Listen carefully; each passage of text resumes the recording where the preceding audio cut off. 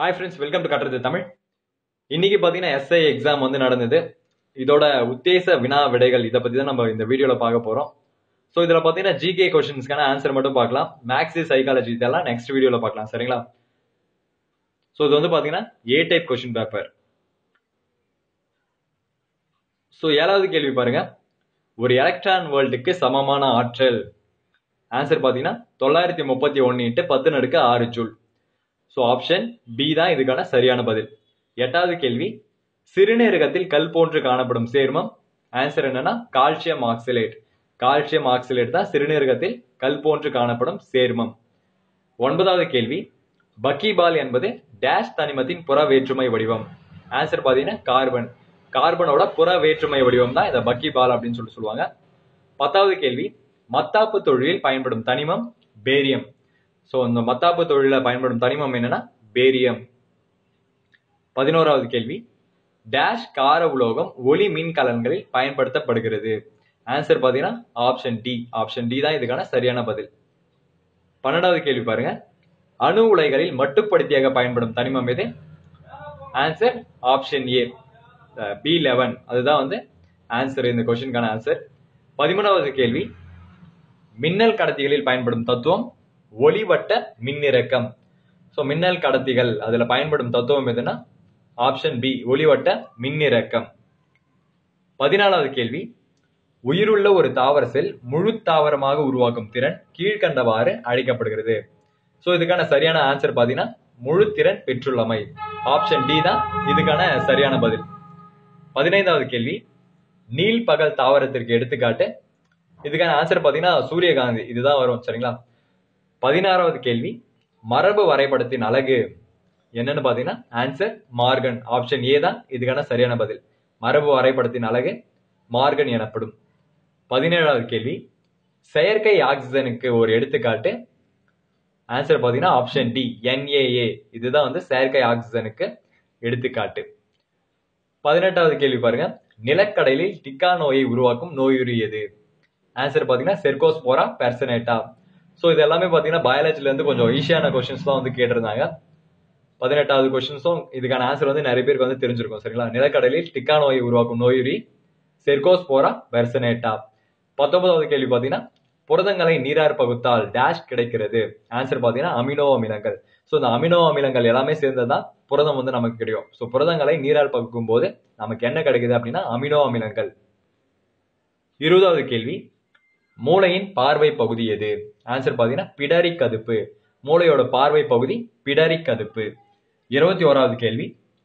கீழ்கண்டவற்றுள் எந்த ஹார்மோன் நம் உடலில் நீரை நிறுத்திக் கொள்வதில் ஈடுபட்டுள்ளது? ஆன்சர் பார்த்தீங்கன்னா பி வாசோபிரஷின் இந்த வாசோபிரஷன் இந்த ஹார்மோன் தான் நம் உடலில் நீரை நிலைநிறுத்திக் கொள்வதில் ஈடுபட்டுள்ளது. சரிங்களா? இந்த தைராக்சின் பார்த்தீங்கன்னா தைராய்டு சுரப்பியால் சுரக்கப்படக்கூடிய ஒரு ஹார்மோன் இதே அட்ரினலின் பார்த்தீங்கன்னா அவசர கால ஹார்மோன் அப்படின்னு சொல்லி சொல்லுவாங்க சரிங்களா? இருபத்தி ரெண்டாவது கேள்வி. Which plasmodium causes black water fever எந்த பிளாஸ்மோடியத்தால் கருநீர் காய்ச்சல் ஏற்படுகிறது? ஆன்சர் பார்த்தீங்கன்னா பிளாஸ்மோடியம் ஃபால்சிபாரம் இந்த கருநீர் காய்ச்சலை ஏற்படுத்தக்கூடிய ஒரு ஃபால்சிபாரம் எது? பிளாஸ்மோடியம் ஃபால்சிபாரம் இருபத்தி மூன்றாவது கேள்வி மாலைக்கண் நோய் எதன் குறைபாட்டால் ஏற்படுகிறது? ஆன்சர் பார்த்தீங்கன்னா வைட்டமின் ஏ மாலைக்கண் நோய். ஆன்சர் வந்து வைட்டமின் ஏ இருபத்தி நாலாவது கேள்வி. மனிதனில் காலரா நோயை தோற்றுவிக்கும் நோயுறி. ஸோ அந்த காலரா அந்த பேர்லயே இருக்கு. Vibrio cholera. இதுதான் வந்து சரியான பதில். ஸோ அதுக்கடுத்த கேள்வி பாருங்க. இருபத்தி ஆறாவது கேள்வி. கோஹினூர் வைரத்தை எடுத்து சென்றவர் யார்? ஆன்சர் பாத்தீங்கன்னா நாதிர் ஷா. கோஹினூர் வைரத்தை வந்து இவர் தான் வந்து கொள்ளையடிச்சிட்டு போவார். நாதிர் ஷா படையெடுப்பு. அந்த அவர் வந்து படையெடுத்து வந்தப்பதான் இந்த கோஹினூர் வைரத்தை கொள்ளையடிச்சிட்டு போவார். அதுக்கடுத்து பாத்தீங்கன்னா இந்திய பணியாளர் சங்கத்தின் தலைமையகம் எங்க இருக்குன்னா ஆன்சர் பூனா. இந்திய பணியாளர் சங்கத்தின் தலைமையகம் எங்க இருக்கு? பூனேல இருக்கு. இருபத்தி எட்டாவது கேள்வி சாகரி என்ற விருதை பெயர் விருது பெயரை கொண்டவர் யாருன்னா? இரண்டாம் சந்திரகுப்தர். ஸோ சாகரி அப்படின்ற பட்டம் பெற்றவர் யாருன்னு பாத்தீங்கன்னா இரண்டாம் சந்திரகுப்தர். இருபத்தி ஒன்பதாவது கேள்வி மௌரிய பேரரசோட கடைசி அரசர் யாரு? பிரகத் ரதன். பிரகத் ரதன் தான் மௌரிய பேரரசோட கடைசி அரசர். முப்பதாவது கேள்வி லாக் பக்ஷா என அழைக்கப்படுவர் யாரு? குத்புதீன் ஐபக் லாக் பக்ஷ் லட்சங்களை வாரி வழங்குபவர் அப்படின்னு சொல்லிட்டு யாரை சொல்லுவோம் அப்படின்னா குத்புதீன் ஐபக். முப்பத்தி ஒன்றாவது கேள்வி. மகதத்தின் தலைநகரம் இது ராஜகிருகம். மகதத்தோட தலைநகரம் இது ராஜகிரகம். ஸோ அங்கவும் பார்த்தீங்கன்னா புத்த சமய மாநாடு வந்து நடந்திருக்கும். சரிங்களா? ராஜகிரகத்தில். அதுக்கடுத்து கேள்வி பாருங்க. ஐந்துலக வகைப்பாட்டை முன்மொழிந்தவர் ஆர் எச் விட்டேக்கர். ஸோ ஐந்துலக வகைப்பாடு அதை முன்மொழிந்தவர் யாரு? R H Whittaker. பயாலஜில இருந்து ஈஸியாக தான் கொஷின்ஸ் வந்து கேட்டிருந்தாங்க. அதே மாதிரி ஹிஸ்டரியில இருந்து ஓரளவுக்கு ஈஸியாக தான் கொஷின்ஸ் வந்து வந்திருந்தது. முப்பத்தி மூன்றாவது கேள்வி. கலிங்க போர் எப்போது நடைபெற்றதுன்னு பார்த்தீங்கன்னா ஆன்சர் ஆப்ஷன் பி பொதுவான ஆண்டு ஆண்டுக்கு முன் இரநூத்தி அறுபத்தி ஒன்று கிமு இரநூத்தி அறுபத்தி ஒன்று அப்படின்னு சொல்லிட்டு படிச்சிருப்பீங்க. அதான் வந்து கலிங்க போர். பண்டைய இந்தியாவின் புகழ்மிக்க மருத்துவர் யாரு? சரகர். பண்டைய இந்தியாவோட புகழ்மிக்க மருத்துவர் சரகர். முப்பத்தி ஐந்தாவது கேள்வி. சூரியனின் டேஷ் கதிர்களை தோல் வெப்பமாக உணர்கிறது. ஆன்சர் பார்த்தீங்கன்னா அகச்சிவப்பு கதிர்கள். அகச்சிவப்பு கதிர்கள் தான் இதுக்கான சரியான பதில். முப்பத்தி ஆறாவது கேள்வி. வேலூர் மாவட்டத்தில் உள்ள வாணியம்பாடி ஆம்பூர் ராணிப்பேட்டை ஆகிய இடங்களில் நூற்றுக்கணக்கான டேஷ் தொழிற்சாலைகள் உள்ளன. ஸோ வேலூர் மாவட்டமாக இருந்தால் இது எல்லாருக்குமே தெரிஞ்ச ஒரு விஷயம். தோல் பதனிடுதல். தோல் பதனிடுதல். இந்த தொழிற்சாலைகள் தான் இந்த வாணியம்பாடி ஆம்பூர் ராணிப்பேட்டை பேரணாம்பட்டு இந்த இடத்துலலாம் வந்து அதிகமாக இருக்கும் சரிங்களா? முப்பத்தி ஏழாவது கேள்வி. பிரேசிலுக்கும் அர்ஜென்டினாவிற்கும் இடையே உள்ள பிரச்சனைக்குரிய ஆறு லாபிலாட்டா. இந்த லாபிலாட்டா இந்த ஆறு தான் வந்து பிரேசிலுக்கும் அர்ஜென்டினாவிற்கும் இடையே உள்ள பிரச்சனைக்குரிய ஆறு. முப்பத்தி எட்டாவது கேள்வி. ஆங்கில கால்வாயின் அடியில் செல்லும் கடலடி குடைவு வழி ரயில் போக்குவரத்து இணைக்கும் இரண்டு நகரங்கள் என்னென்னா பாரிஸ் மற்றும் லண்டன். ஆன்சர் பார்த்தீங்கன்னா ஆப்ஷன் ஏ. முப்பத்தி ஒன்பதாவது கேள்வி. இரண்டாம் புலிகேசி டேஷ் ஆற்றங்கரையில் ஹர்ஷவர்தனரை தோற்கடித்தார். ஆன்சர் பார்த்தீங்கன்னா நர்மதை ஆற்றங்கரையில். நர்மதை ஆற்றங்கரையில தான் இரண்டாம் புலிகேசி ஹர்ஷவர்தனை தோற்கடித்தார். நாற்பதாவது கேள்வி. உலகின் மிகச்சிறந்த மீன்பிடி தலங்கள் கடலடி நிலத்தோற்றமான டேஷ் பகுதியில் காணப்படுகின்றன. ஆன்சர் பார்த்தீங்கன்னா கண்டத்திட்டு. கண்டத்திட்டு தான் இதுக்கான சரியான பதில். நாற்பதாவது கேள்வி. உலகிலேயே மிகப்பெரிய ஆற்று சமவெளிகள் டேஷ் சமவெளிகள் ஆகும். ஆன்சர் பார்த்தீங்கன்னா கங்கை பிரம்மபுத்திரா. ஸோ கங்கை பிரம்மபுத்திரா சமவெளி தான் உலகிலேயே மிகப்பெரிய ஆற்று சமவெளிகள். அடுத்த கேள்வி. தமிழகத்தின் நுழைவாயில் தூத்துக்குடி. தமிழகத்தோட நுழைவாயில் எது? தூத்துக்குடி. இது இந்தியாவோட நுழைவாயில் எதுன்னு கேட்டிருந்தா மும்பை. நாற்பத்தி மூன்றாவது கேள்வி. திட்ட விடுமுறை காலம் அப்படின்னு எதை சொல்லுவோம்னா ஆயிரத்தி தொள்ளாயிரத்தி அறுபத்தி ஆறுல இருந்து ஆயிரத்தி தொள்ளாயிரத்தி அறுபத்தி ஒன்பது ஸோ இதுதான் வந்து திட்ட விடுமுறை காலம் அப்படின்னு சொல்லி சொல்லுவாங்க. நாற்பத்தி நாலாவது கேள்வி. இந்திய ரயில்வே முதன் முதலில் வைஃபை வசதியை எந்த ரயில் நிலையத்தில் தொடங்கியது? ஆன்சர் பார்த்தீங்கன்னா பெங்களூர். ஸோ மின்னியல் தலைநகரம் அப்படின்னு சொல்லி சொல்லுவாங்க பெங்களூரை. இங்கே தான் வந்து ரயில்வேல ஃபர்ஸ்ட் ஃபர்ஸ்ட் வைஃபை வசதியை வந்து அறிமுகப்படுத்தினாங்க சரிங்களா? நாற்பத்தி ஐந்தாவது கேள்வி. போலிவாரம் என்ற கருத்து யாருடன் தொடர்புடையது? ஆன்சர் பார்த்தீங்கன்னா மார்ஷல் மார்ஷலோட தொடர்புடையது. நாற்பத்தி ஆறாவது கேள்வி. ஸோ இதுக்கு ஆன்சர் ஏதாவது தெரிஞ்சிருந்தா வந்து கமெண்ட் செக்ஷனில் கமெண்ட் பண்ணுங்க சரிங்களா? இந்த நாற்பத்தி ஆறாவது கேள்விக்கு. நாற்பத்தி ஏழாவது கேள்வி. இந்திய ரூபாய் ஆயிரத்தி தொள்ளாயிரத்தி நாற்பத்தி ஏழுலேருந்து டேஷ் முறை மதிப்பிறக்கம் செய்யப்பட்டது. ஸோ இதுக்கான ஆன்சர் பார்த்தீங்கன்னா ஆப்ஷன் பி ஆன்சர் நாலு தான் இதுக்கான சரியான பதில். நாற்பத்தி எட்டாவது கேள்வி சென்னை டேஷ் எனவும் அழைக்கப்படுகிறது. ஆன்சர் பார்த்தீங்கன்னா option B option C so ரெண்டுமே வரும். ஆசியாவின் டெட்ராய்டு அப்படின்னாலும் சென்னை தான் தென்னிந்தியாவோட டெட்ராய்டு அப்படின்னாலும் சென்னை தான். சரிங்களா? நாற்பத்தி ஒன்பதாவது கேள்வி கல்வி அறிவின்மை எதனுடன் தொடர்புடைய பிரச்சனை? ஆன்சர் பார்த்தீங்கன்னா உள்கட்டமைப்பு. ஸோ உள்கட்டமைப்பு இதோட தொடர்புடைய பிரச்சனை தான் இந்த கல்வி அறிவின்மை. ஐம்பதாவது கேள்வி சிறு தொழில் நிறுவனங்களுக்கான எடுத்துக்காட்டு. ஆன்சர் பார்த்தீங்கன்னா சோப்பு தயாரித்தல். ஸோ இந்த சிமெண்ட் தயாரித்தல் சிறும்பு தயாரித்தல் இதெல்லாம் பார்த்தீங்கன்னா பெரிய பெரிய கம்பெனி பண்ணுவாங்க. மண்பாண்டங்கள் தயாரித்தல் இது வந்து கைவினை பொருட்கள்ல அந்த கேட்டகரியில் வரும். சரிங்களா? குடிசை தொழில் இந்த மாதிரி அந்த கேட்டகரியில் வரும். ஸோ இந்த சிறு தொழில் நிறுவனங்களுக்கான எடுத்துக்காட்டு பார்த்தீங்கன்னா சோப்பு தயாரித்தல். ஐம்பத்தி ஓராவது கேள்வி ஜிஎஸ்டி அதோட விரிவாக்கம் என்ன? சரக்கு மற்றும் சேவை வரி. ஐம்பத்தி ரெண்டாவது கேள்வி. இந்திய புள்ளியியலின் தந்தை என்று அழைக்கப்படுவர் யாருன்னா பிசி மகளனோபேஸ் இவர் தான் வந்து இந்திய புள்ளியியலின் தந்தை அப்படின்னு சொல்லிட்டு சொல்லுவாங்க. ஐம்பத்தி மூன்றாவது கேள்வி. அக்னி சிறகுகள் என்ற நூலை எழுதியவர் யாரு? அப்துல் கலாம். அக்னி சிறகுகள் என்ற நூலை எழுதியவர் அப்துல் கலாம். ஐம்பத்தி நாலாவது கேள்வி. மனித உரிமைகள் தினம். ஆன்சர் பார்த்தீங்கன்னா டிசம்பர் பத்து. ஐம்பத்தி ஐந்தாவது கேள்வி. மாநகராட்சி மேயரின் பதவிக்காலம் ஐந்து வருடங்கள். சரிங்களா? மாநகராட்சி மேயர் அவரோட பதவிக்காலம் ஐந்து வருடங்கள். ஐம்பத்தி ஆறாவது கேள்வி. கீழ்கண்டவற்றுள் எது உலக அமைப்பு இல்லை?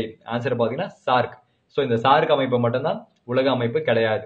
அதில் வந்து சில நாடுகள் தான் இருக்கும். மற்ற மூணு பார்த்தீங்கன்னா இந்த ஐநா பன்னாட்டு நிதி நிறுவனம் பன்னாட்டு மனித உரிமை கழகம் இது எல்லாமே உலக அமைப்பு. சார்க்கு மட்டும்தான் உலக அமைப்பு கிடையாது. ஐம்பத்தி ஏழாவது கேள்வி. உயர்குடி வகுப்பினர் அல்லா கோட்பாடினை கூறியவர் யாரு? Karl Marx. காரல் மார்க்ஸ் அந்த உயர்குடி வகுப்பினர் அல்லா கோட்பாடை கூறியவர். ஐம்பத்தி எட்டாவது கேள்வி. குடும்ப நீதிமன்றங்கள் எந்த ஆண்டு துவங்கப்பட்டது? ஆன்சர் பார்த்தீங்கன்னா ஆயிரத்தி தொள்ளாயிரத்தி எண்பத்தி நாலு. ஐம்பத்தி ஒன்பதாவது கேள்வி. இந்தியாவில் வேளாண்மை வருமானம் என்பது ஆப்ஷன் பி சரிங்களா? முழுவதும் வரி விலக்கிற்கு உட்பட்டது. ஆன்சர் பார்த்தீங்கன்னா ஆப்ஷன் பி அறுபதாவது கேள்வி. தமிழ் பதிப்புலகின் தலைமகன் என போற்றப்படுவர் யாரு? சிவை தாமோதரனார். தமிழ் பதிப்புலகின் தலைமகன் அப்படின்னு யாரு சொல்லுவார்னா சிவை தாமோதரனார். அறுபத்தி ஓராவது கேள்வி. தமது மறைவின் பொழுதும் எச்ச எச்சடங்களும் வேண்டாம். அதாவது த- தன்னோட மறைவின் பொழுது எந்த சடங்குகளும் வேண்டாம். என்றே உரைத்து அவ்வாறே நிறைவேற செய்தவர் யாரு? ஆப்ஷன் டி முடியரசன் தான் அவ்வாறே நிறைவேற செய்தவர். முடியரசன் வந்து சொல்லியிருப்பாரு தமது மறைவின் போது தமக்கு வந்து எந்த சடங்குகளும் வேண்டாம். அப்படின்னு சொல்லி அதை நிறைவேற செய்தவர் யாரு? முடியரசன். அறுபத்தி ரெண்டாவது கேள்வி. ஏறு தழுவுதல் பற்றிய குறிப்பு இடம்பெற்றுள்ள சங்க இலக்கிய நூல் எது? கலித்தொகை. அறுபத்தி மூன்றாவது கேள்வி. குடும்பம் எனும் சொல் முதன் முதலில் இடம்பெற்ற நூல் நற்றினை அறுபத்தி நாலாவது கேள்வி பாருங்க. காவியனும் காவினம் கலனே சுருக்கினம் கலப்பை. இத்தொடரில் கலன் எனும் சொல் உணர்த்தும் பொருள் யாழ் கருவி ஆன்சர் பார்த்தீங்கன்னா யாழ் கருவி அறுபத்தி ஐந்தாவது கேள்வி. சினம் என்னும் சேந்தாரை கொல்லி இனம் என்னும் ஏமப்புனையச் சுடும். இக்குறளில் இடம்பெற்றுள்ள அணி ஏகதேச உருவக அணி ஆன்சர் பார்த்தீங்கன்னா ஏகதேச உருவக அணி அறுபத்தி ஆறாவது கேள்வி. அன்புள்ள அம்மா என்ற நூலை படைத்தவர் யாரு? பாலகிருஷ்ணன் பாலகிருஷ்ணன் தான் இந்த அம் அன்புள்ள அம்மா அப்படின்ற ஒரு நூலை வந்து எழுதியிருப்பார். ஸோ தமிழ் இங்கிலீஷில் நிறைய பேருக்கு ஒரு டவுட் வந்து இருந்தது. சிலபஸில் எல்லாம் வருமா வராதா அப்படின்னு சொல்லிட்டு. ஸோ இந்த டைமும் பார்த்தீங்கன்னா தமிழ் இங்கிலீஷில் இருந்து கொஷின்ஸ் வந்து கேட்டிருக்காங்க சரிங்களா? அறுபத்தி எட்டாவது கேள்வி பாருங்க. Choose the sentence in simple past tense from the following இது இருந்து ஆன்சர் வந்து கேட்டிருக்காங்க. ஆப்ஷன் பார்த்தீங்கன்னா ஏ ஷி ஒர்க்கட் எஸ்டர்டே இதுதான் வந்து சரியான பதில் சரிங்களா? அறுபத்தி ஒன்பதாவது கேள்வி. Choose the correct question tag Ajit seldom speak in English answer பார்த்தீங்கன்னா த சி ஆன்சர் பார்த்தீங்கன்னா சி ஆப்ஷன் சி தான் இதுக்கான சரியான பதில். எழுபதாவது கேள்வி. Choose the correct passive form I speak English அதுக்கான பாசிவ் ஃபார்ம் வந்து கேட்டிருக்காங்க. ஆன்சர் பார்த்தீங்கன்னா A option A English is spoken by me இதுதான் வந்து சரியான பதில். எழுபத்தி ஓராவது கேள்வி. Shivani wears a belt around her waist answer பார்த்தீங்கன்னா ஆப்ஷன் ஏ எழுபத்தி ரெண்டாவது கேள்வி. Prefix for the word mature mature அந்த வேர்டுக்கு ப்ரஃபிக்ஸ் கேட்டிருக்காங்க. ஆன்சர் பார்த்தீங்கன்னா ப்ரீ மெச்சூர் எழுபத்தி மூன்றாவது கேள்வி. Use the correct word look Shanta is going to dash from the table answer பார்த்தீங்கன்னா ஸ்லிப் அதாவது டேபிள் கிட்ட போயிட்டு ஸ்லிப் ஆயிட்டான். சரிங்களா? அதான் வந்து அதுக்கான சரியான பதில். எழுபத்தி நாலாவது கேள்வி. Choose the reported for of I said where are the boys இதுக்கான பதில் பார்த்தீங்கன்னா option A I asked where the boys were so எழுபத்தி அஞ்சாவது கேள்வி. இந்த கேள்விக்கு சரியான பதில் பார்த்தீங்கன்னா ஆப்ஷன் சி ஆப்ஷன் சி தான் வந்து சரியான பதில். அதே மாதிரி எழுபத்தி ஆறாவது கேள்வி பூஜ்ய அணியின் தரம். ஆன்சர் பார்த்தீங்கன்னா இதுக்கு வந்து ஒன்று தான் வரும் சரிங்களா? பூஜ்ய அணியின் தரம். ஆன்சர் பார்த்தீங்கன்னா ஒன்று தான் வரும். ஸோ பதில் தெரிஞ்சிருந்தா கமெண்ட் செக்ஷனில் கமெண்ட் பண்ணுங்க. எழுபத்தி ஏழாவது கேள்வி. ஆன்சர் பார்த்தீங்கன்னா ஆப்ஷன் ஏ மூன்று இதுதான் வந்து சரியான பதில். எழுபத்தி எட்டாவது கேள்வி பார்த்தீங்கன்னா ஆப்ஷன் பி எழுபத்தி ஒன்பதாவது கேள்வி. இதுக்கு பார்த்தீங்கன்னா ஆன்சர் ஆப்ஷன் ஏ ஸோ இந்த மேக்ஸ் சைக்காலஜி இது எல்லாமே நெக்ஸ்ட் வீடியோவில் நம்ம தெளிவாக பார்க்கலாம் சரிங்களா? ஆன்சர் வந்து என்ன ஆன்சர் எப்படி வருது அப்படின்னு சொல்லிட்டு பார்க்கலாம். எண்பதாவது கேள்விக்கு ஆன்சர் பார்த்தீங்கன்னா ஆப்ஷன் சி இருபத்தி அஞ்சு இதுதான் வந்து இதுக்கான சரியான பதில். ஸோ ஏதாவது பதில் வந்து தப்பாக இருந்தால் கமெண்ட் செக்ஷனில் கமெண்ட் பண்ணுங்கள் சரிங்களா? நன்றி.